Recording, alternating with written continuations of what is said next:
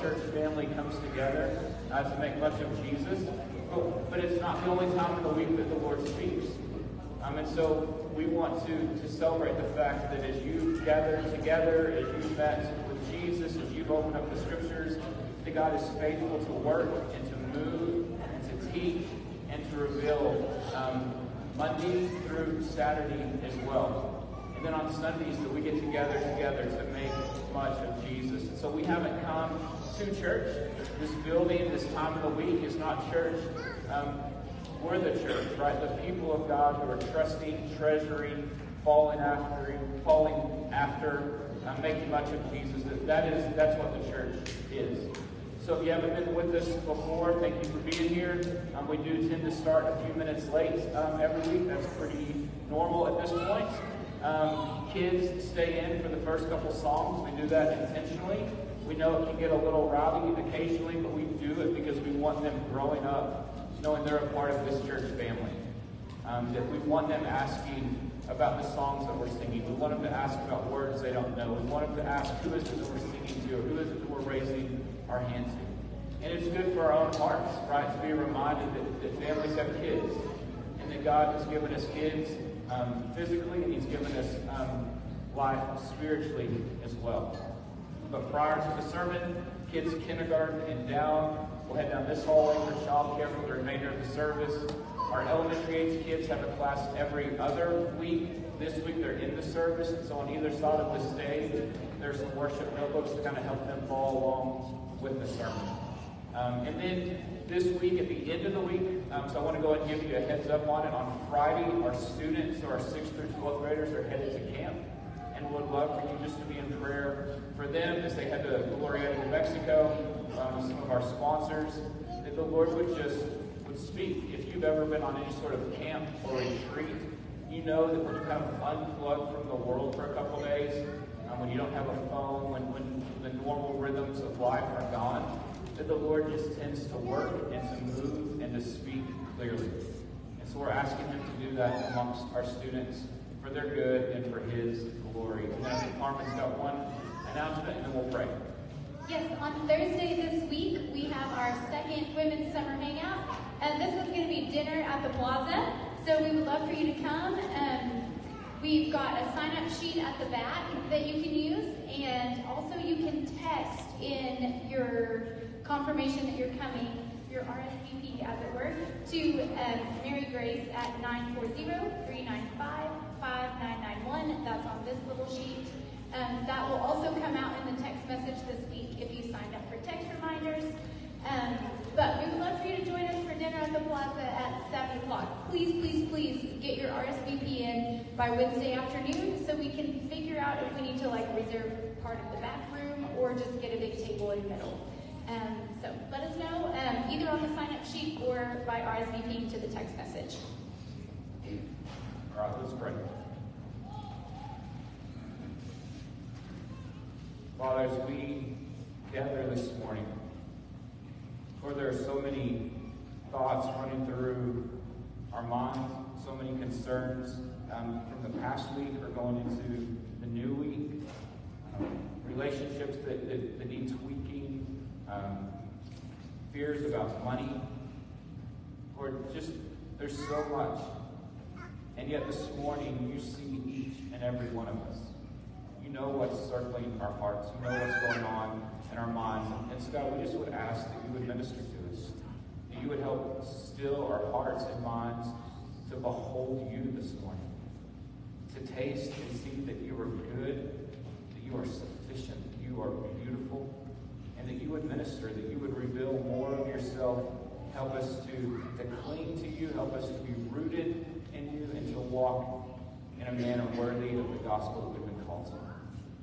So this morning, God, with the, with the praises of our mouth, edify and glorify you, but Lord, will we not settle that that is all that worship is, but it is the very lives that we live. God, help us to sort through that, to make much of you. In Jesus' name, amen. If you are able, please stand as we read the word of the Lord and us to worship. Psalm 146. Praise the Lord. Praise the Lord, O my soul. I will praise the Lord as long as I live. I will sing praises to my God while I have my being. Put not your trust in princes, in a son of man in whom there is no salvation. When his breath departs, he returns to the earth. On that very day his plans perish. Blessed is he whose help is the God of Jacob, whose hope is in the Lord his God, who made heaven and earth, the sea, and all that is in them, who keeps faith forever, who executes justice for the oppressed, who gives food to the hungry. The Lord sets the prisoners free. The Lord opens the eyes of the blind. The Lord lifts up those who are bowed down. The Lord loves the righteous. The Lord watches over the sojourners. He upholds the widow and the fatherless, but the way of the wicked he brings to ruin. The Lord will reign forever.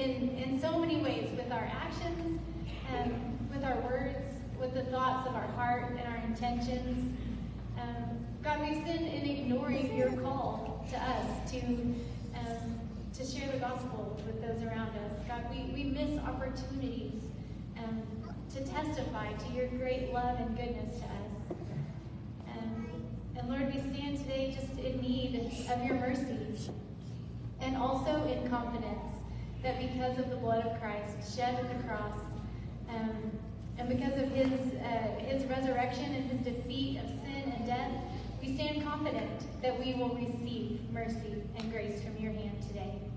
Um, so would you remind us, God, of your goodness today? Would you, um, as we look at this last little bit of the wonderful and beautiful Gospel of Luke, um, would you challenge us? Um, would you challenge us to live more like Christ? To sacrifice um, the things of the world that we might gain what is truly life? Lord, would you call us to bring ourselves fully before you this morning that your word might change and impact our hearts? In Jesus' name, amen. Uh, you guys can have a seat. Our littlest folks have class down this hallway for childcare today. Um, they can just kind of head down that way and follow the signs to their classes. Our bigger kids, first through fifth grade, will be in the service with us today. So they do have some worship notebooks here at the front on either side of the stage to help them follow along with the sermon.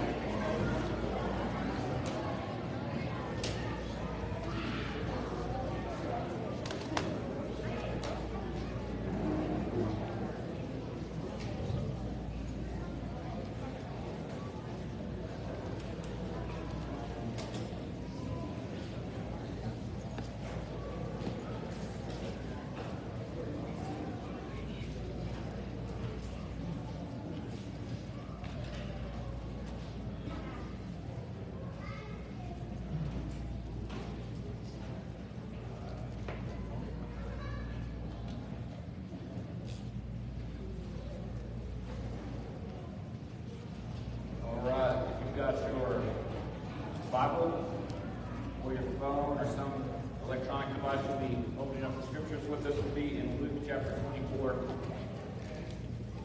We'll be finishing uh, the Gospel of Luke this morning.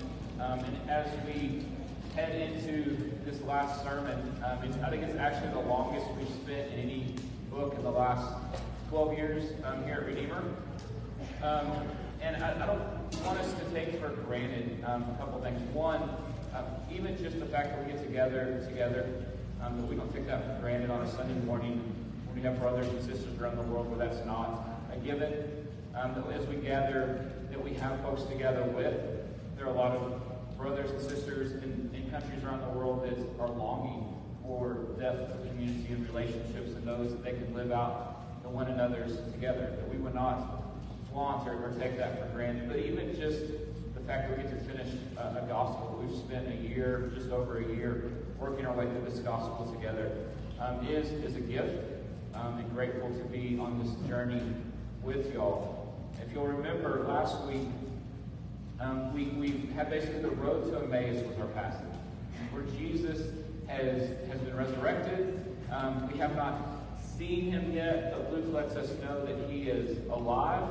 Um, and then we, Jesus encounters a couple travelers on their way, and he engages them in conversation. He opens up the scriptures to them and shows how he is, right, like the, the Messiah, the suffering servant Jesus, was the revelation of all of Scripture, that all of it is telling a story through many stories, many authors, many genres, many generations, that God is reconciling himself to the world through the life and the death and the resurrection of Jesus. And so their eyes are finally opened over dinner with Jesus, and as soon as they realize it, that Jesus vanishes, right? And so they immediately pick up and leave Emmaus and head back down the road to Jerusalem, where they find the, the apostles and some others gathered, and they're anxious to tell the story of how we just saw Jesus, and yet Peter is already there saying, appeared to me. And they then get to tell the story of how they've seen Jesus, and you can imagine the excitement and in, in the room as people are talking over one another. Um, the women have had their experience of the empty tomb. Peter's now had an appearance. These two have had an appearance. And that's the scene where we kind of cut off and left in the middle of that last week. And so we're going to pick up in Luke 24, um, beginning in verse 36. Still in that moment, in this room where everyone is excited and exuberant and exclaiming that they've seen Jesus.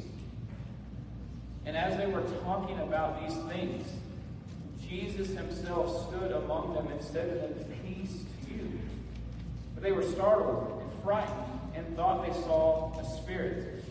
And he said to them, Why are you troubled and why do doubts arise in your hearts? See my hands and my feet. That is I, that it is I myself. Touch me and see. For a spirit doesn't have flesh and bones, as you see that I have. And when he had said this, he showed them his hands and his feet. And while they were still, and while they still disbelieved for joy or marveling, he said to them, Have you got anything here to eat? And they gave him a piece of broiled fish. And he took it and ate before them. Then he says to them, These are my words that I spoke to you while I was still with you, that everything written about me in the law of Moses, the prophets, the Psalms must be fulfilled. And then he opened their minds to understand the scriptures and said them, Thus it is written, that the Christ should suffer and on the third day rise from the dead, and that repentance for the forgiveness of sins should be proclaimed in his name to all nations, beginning from Jerusalem. You are witnesses of these behold, I'm sending the promise of my Father upon you. But stay in the city until you're clothed with power from on high. And he led them out as far as Bethany. And lifting up his hands, he blessed them.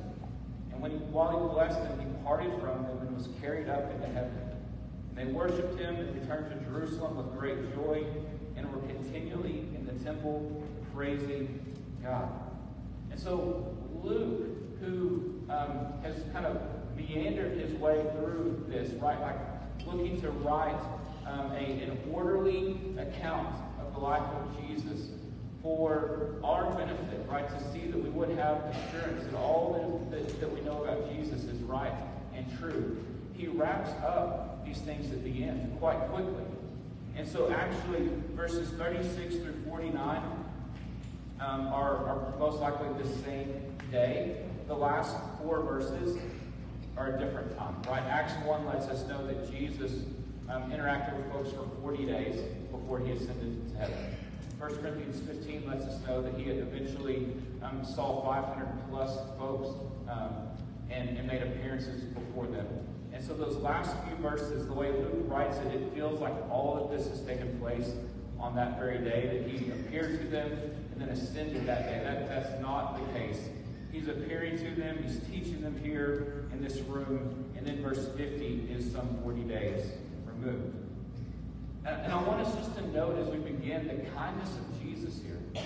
Right? Like as he walks in the room, right, he knows it's going to be startling to them, that his initial comment is just peace. Right? Like, hey, it's okay, right? Breathe. I, I know you're startled. And that, that there's no shaming here. There's no, I gotcha, I told you, you know, what were y'all thinking?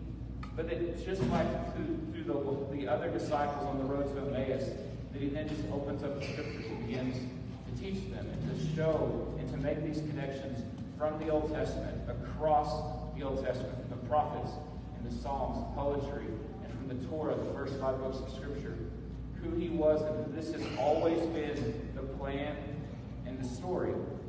And yet Luke lets us know this scene, like the disciples are, are pretty incredulous, like that their minds are literally blown here. Right? Like that, that even as they're speaking, they're initially they're startled and they're frightened, thinking they're seeing like a spirit or that they're hallucinating. Right? Um, and even when Jesus confirms that it's him, look at verse 41. It says they still disbelieve for joy. Here is not really like um, like they're, they're being stubborn here. It's more like they're vapor locked, where it's just like, and Jesus is like, hey, you know, anything to eat? Like, like, hey, stay with me here. Like, it's me. Let's sit down and eat and talk. that they're just like, the, the gears are turning a little slow to really figure out this is really happening. And yet, in Jesus' appearance here, he's giving some proofs for them, right? Almost anticipating the arguments that would be made, right? So he's allowing them to see him, to hear him, to touch him, right? Their senses are involved here. As they're seeing him, as they're hearing him, as they're touching him. To see that, it's, that it is a bodily resurrection. Right? That others would not be able to say, hey, you know what? Y'all were, y'all were um, terrified, you were sad, with grief, and you just hallucinated. You didn't really see Jesus, you had a vision, or you hallucinated. And they're like, no, like, we touched him. We watched him eat. So in, in the Jewish belief, an angel doesn't eat, doesn't drink, right? So it's not a vision, it's not a spirit, it's not an angel. There is a bodily resurrection taking place here. But it's not just that it's a bodily resurrection, that, that his body is now different. Right? In 1 Corinthians 15, if you want to spend some time there this week, Paul talks through the, the physical body and the spiritual body. That the physical body, right, perishes, that it, that it wears out, and the spiritual body is eternal, right? And it's different. Jesus is exhibiting some of that, right? That he vanished with the guys in Emmaus, that he just kind of appears, kind of walking through walls, that, it's, that it is his body, but it's different. It's not the same. Which tells us a second proof. It wasn't that Jesus just swooned and needed to be resuscitated. Right? Coming through the wall lets them know this is his body, but it's not the same body. Right? It's different. It's a, it's a, it's a spiritual body, but it's his physical body. It's different. And so listen to how John will write this. This is in 1 John chapter 3. It says, this is beginning verse 1. See what kind of love the Father has given to us, that we should be called children of God, and so we are. The reason why the world doesn't know us is that it doesn't know him. Listen to verse 2. Beloved, we're God's children now. What we will be has not yet appeared. But we know when he appears, and when he returns, we shall be like him, because we will, will see him as he is. Right? It's, it's the promise that our bodies right now are finite, they fail, they wear out, they're susceptible to death. But we will receive physical, uh, we will receive new, perfect physical bodies that are different because there'll be this spiritual aspect to them. And what we see here in Luke 24 in Jesus' body will one day be ours as well. And so he's allowing them to experience him, to see him, to touch him. He's letting them know that his body, right, is not just a spirit or a hallucination, but that it's not the same body. It is different. It is, is what we're going to long for and hope for. And so, as, as they're experiencing this and trying to figure out what's going on, he basically asks, hey, have any leftovers? Right? Got something to eat? And he sits down and he has a meal with them. And while they're having this meal, he opens their minds to the truths of Scripture. And all these concerns and doubts where they, they expected him to come in and, and physically as a, as a like take over Rome, restore Israel, he's beginning to show the plan and the intent of Scripture. We talked about this last week. Um, this was always the plan. He has fulfilled it. And he's helping them understand. And he opens their mind to it. Verse 45. And he says in verse 46, Thus it is written, that Christ should suffer and on the third day rise from the dead. And then he begins to mention repentance for the forgiveness of sins. So what's happening here is it's like the veil is being lifted, right? Like that they just could not quite comprehend all that was taking place in Scripture, right? They just couldn't quite see. And now the veil is being lifted and all the synapses are firing, right? All the connections are being made. And Jesus is helping them see the continuity of this and their understanding. Listen to how Paul writes about this. This is in um, 2 Corinthians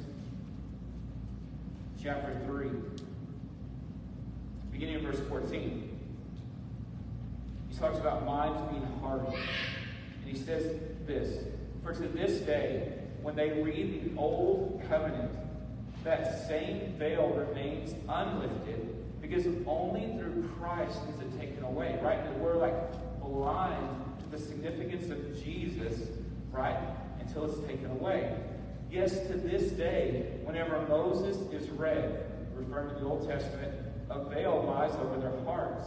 But when one turns to the Lord, the veil is removed.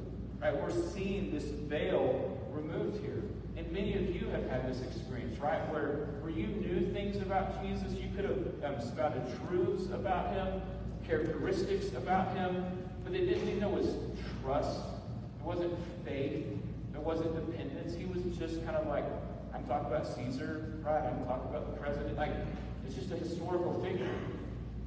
And then the veil gets removed.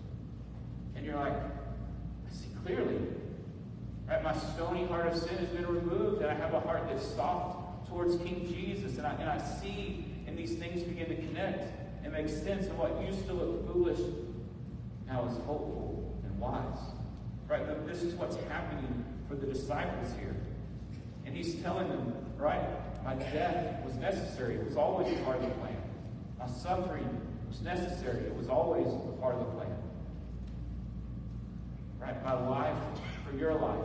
My death so that you don't have to die separated from God. And my resurrection.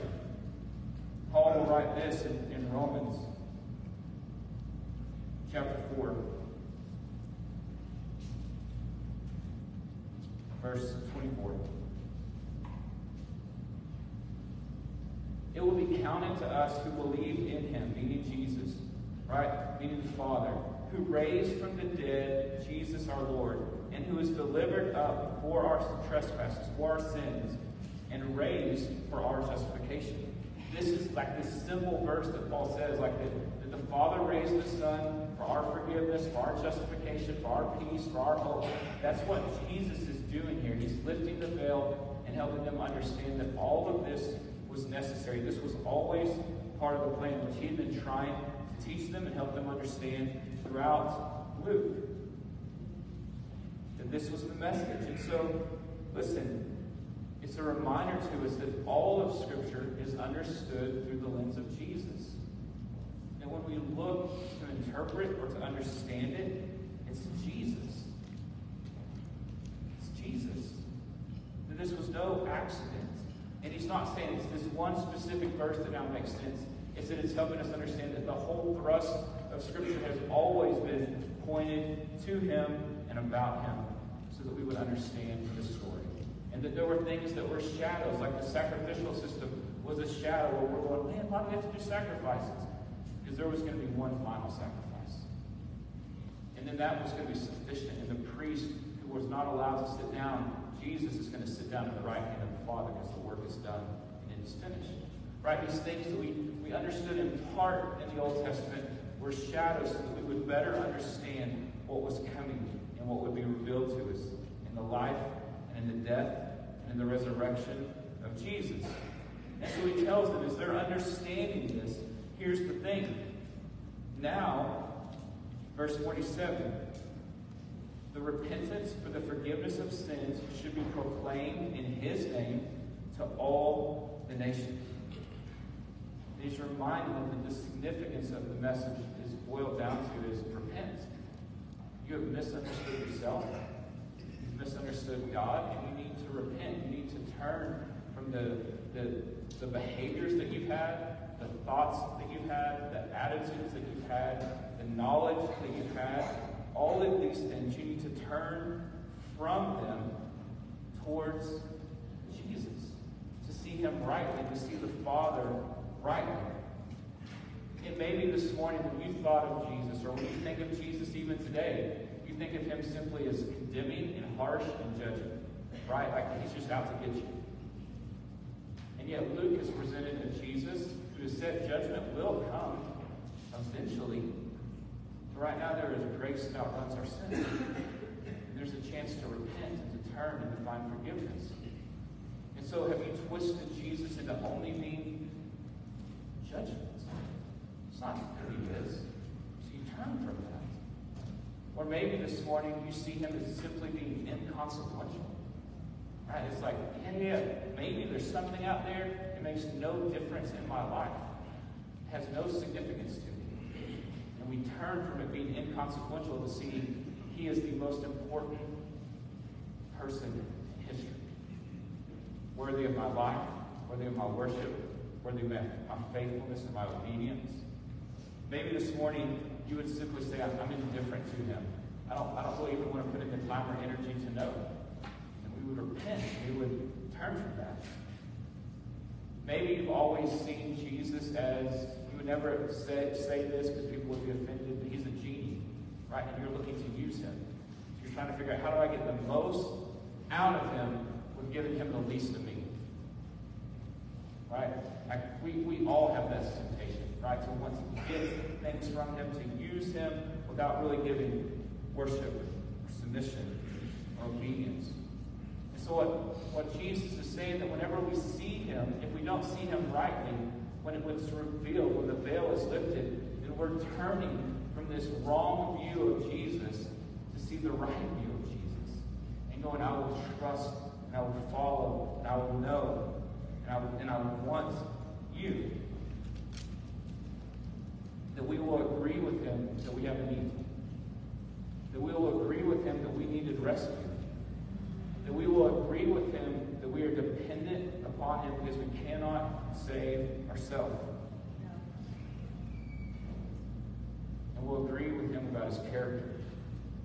Right? This is what repentance looks like. It's not just mental affirmation of knowledge. It is turning from one belief to the right belief, from one perspective to the right perspective, and trusting and knowing and following Him. Because what have we seen in Luke as we as we summarize and wrap this book up? Jesus saw people, right? As He's walking, He sees people. He sees their brokenness. He sees their need. Right? I think we can make it um, overly like sweet when it's like, oh, there were lepers on the side of the street crying out, Jesus. And the people are like, hey, shut up, right? Shut up. Then Jesus turns and sees them. Well, yeah, that's what Jesus does. But when you've been in a major city, in the U.S. or internationally, and there are those who are on the streets, mentally ill, skin messed up, bodies messed up, lives messed up, you can now imagine someone telling them to shut up when they started trying to draw attention to themselves. Right? Oh yeah, because I try to like avoid eye contact. Right? I think it makes us uncomfortable. This is more the scene of who's crying out for Jesus, and Jesus stops and he sees them and he touches them and he brings hope and forgiveness and joy and healing and life, freedom. And before we think it's just for them, that's who we are too. Spiritually, it's who we are, that we are destitute, unable to change our circumstances, unable to change our situation, unable to pull ourselves out of the muck and mire, unable to do anything to gain God's attention for Him to say, well, I'll save you. Right? We are utterly desperate upon the grace of God. And we can fool ourselves into thinking we're okay if our physical lives look okay. But spiritually, we are without hope. Until Jesus sees us. See, yeah, come. Yeah, yeah. To rescue. Yes, there's hope. Yes, there's joy. Yes, there's peace. Jesus sees people. And so part of the message he's telling them here is go see people. And when you see them, then tell them there is hope and there is joy, and it is found in the life, the death, and the resurrection of Jesus. Because once again, think about who's in the room here. These are the men who, by the way, have denied him, did not stand with him, have remained hidden, have been slow to figure it out, right? Who, when asked to pray in the garden, were falling asleep, right? It's not like they've just like been crushing it here lately. They are flawed, imperfect individuals, and Jesus is there saying, peace, hope, given himself. Like what hope for us as flawed, imperfect individuals who have failed Jesus? And he then then says, No, no, no, you just need me. And I'm gladly here to give it. He's not shaming them, He's not scorning them. He's simply making sure they understand that what they need is Him. And so when He comes in the room, uh, initially in verse 36, it says, Peace to you. He's saying shalom, right? You may have heard this. Shalom. What shalom? He literally is saying also is just salvation. Because shalom is not as simple as peace, meaning not um, fighting, not enmity between us and God, which that is a huge aspect of it. But it's wholeness. It is delight. It is flourishing. Folks, it's Genesis 1 and 2. When God created us to know Him, to walk in harmony with Him, to flourish with Him for all time. Folks, it is Revelation 21 when every tear will be wiped away from our eye, where there will be no more sickness, no more sadness, no more death, no more mourning, no more tragedy, no more dis- disease, no more folks not belonging, no more racism, no more poverty. Like when everything is made right, and there's flourishing, there are things that are harmonious forever with us and God. That is shalom. It's peace. And so it's what we see to begin Scripture was the intent, and it's where we're headed. And Jesus now steps in the room in the midst of pain, and fear, and chaos, and says, Shalom. Because he's there, and because he's alive, and he has defeated sin, Satan, and death, and he is making us right with the Father. He has closed the gap He has given us the way, the truth, and the life, being Jesus, to salvation. And what do they need? Just Jesus. These flawed, imperfect folks simply need to see him rightly and to repent. And he's now telling them, as you do that, you're going to be tasked with something. And so he says, listen, so you are witnesses of, the, of, you are witnesses of these things. And behold, I'm sending the promise of my Father upon you, verse 40. But stay, or sorry, verse 49. But stay in the city until you're clothed with power from on high. The promise here is the Holy Spirit. Jesus is saying, listen, when I leave, it's better for you that I leave, so I'm going to send you the Holy Spirit. And you're not just going to have me sitting at the table eating fish with you. You're going to have the Spirit of the living God within you who will guide you to truth, who will convict you of sin, who will reveal and lift the veil, right? Who will be a comforter and an encouragement, who will empower you and equip you to do the task that I'm calling you to. So go to Jerusalem, you see me rightly, and wait for the Spirit of God to fall upon you. And then you're going to have a task before you.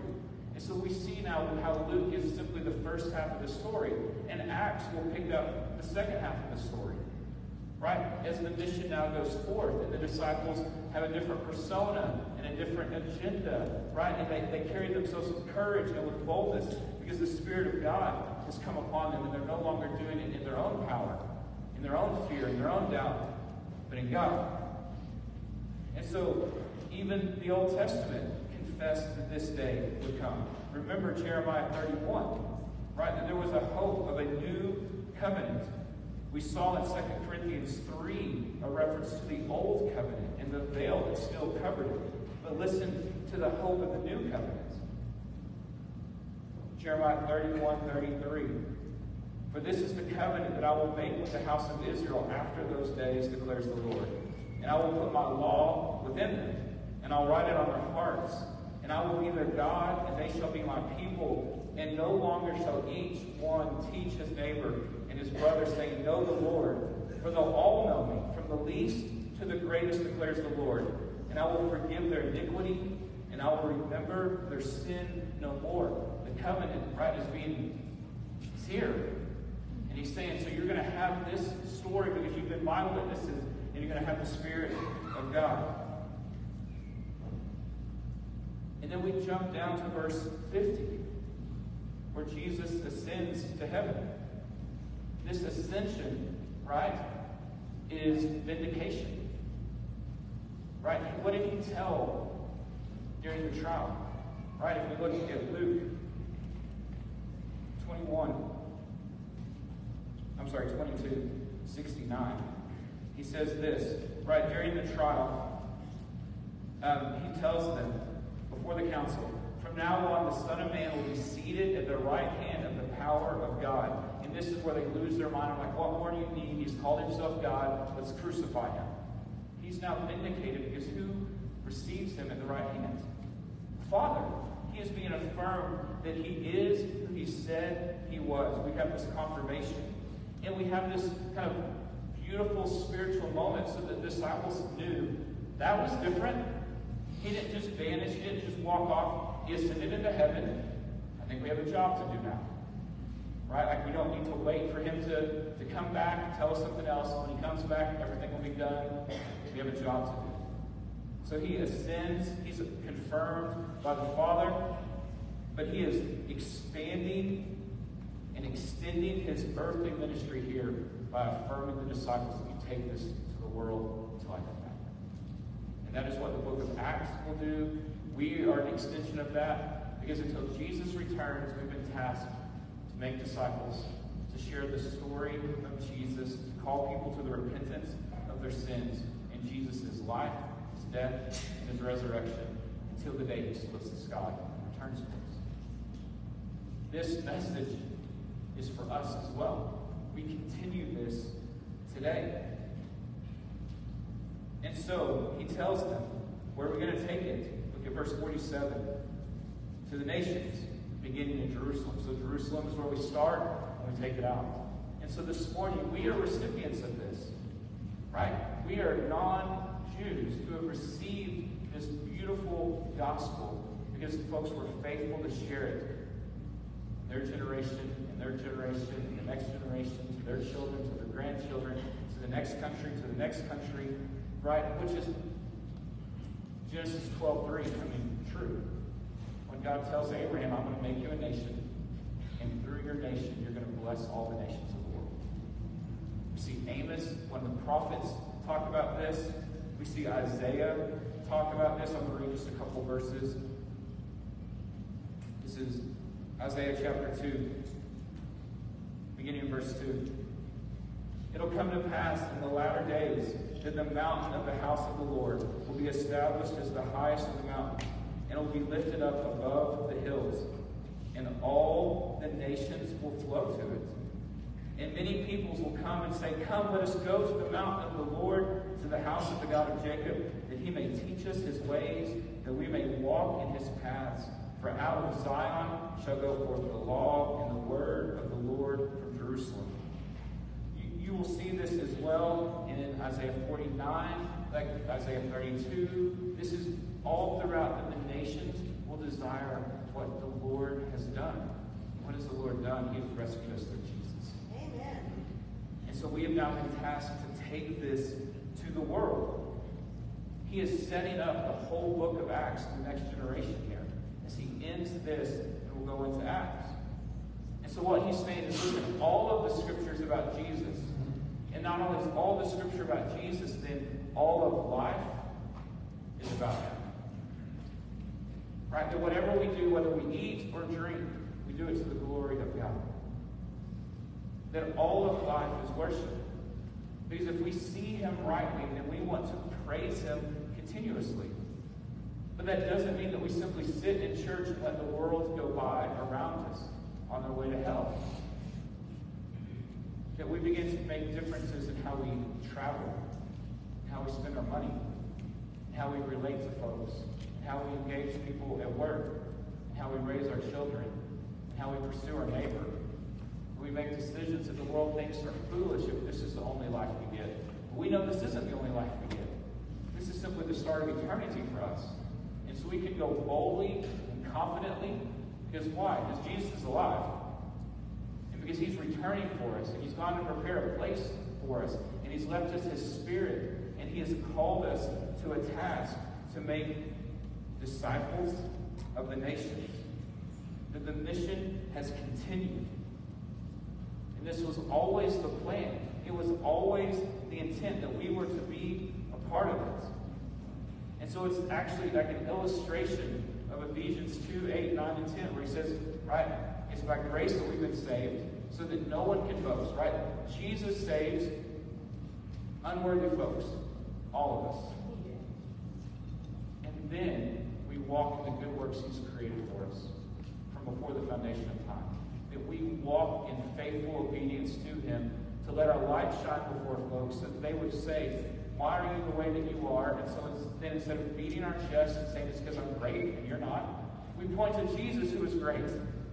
Say because there's hope and there's peace and there's joy and there's shalom found in his life and his death and his resurrection. And so we go places to put our life at risk. And we pour our life out, not making as much money as we could make, or pursuing folks and relationships that don't make sense. Because Jesus is worthy of worship.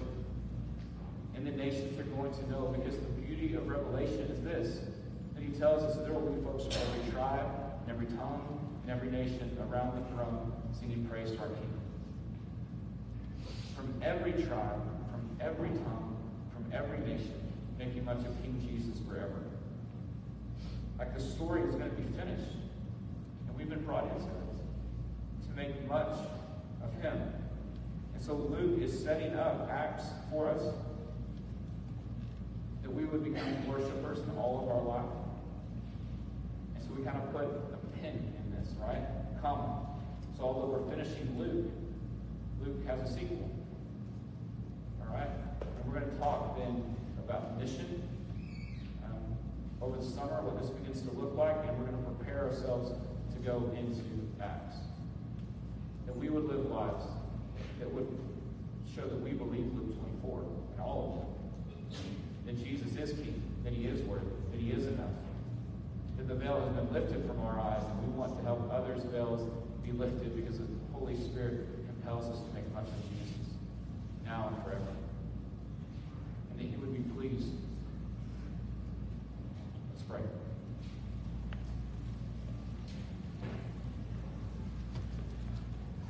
Father, we want to please you. We want to know you. We want to honor you. Lord, would we not believe the lie this morning that we're going to worship for a few minutes and then worship isn't over until next week? But that when we know that worship continues as we walk out of this place? As we trust and depend and see you rightly, as we help others see that as well. And God, when we hear you calling us, calling us to our neighbor, calling us to, to perseverance with our children, calling us to your word, calling us to the nations, that we would make much of you wherever you have placed us. And God, when we head into um, the continuation of the story with much anticipation, um, God, we want to continue your ministry that you call us to. Jesus, in your beautiful name we pray. Amen.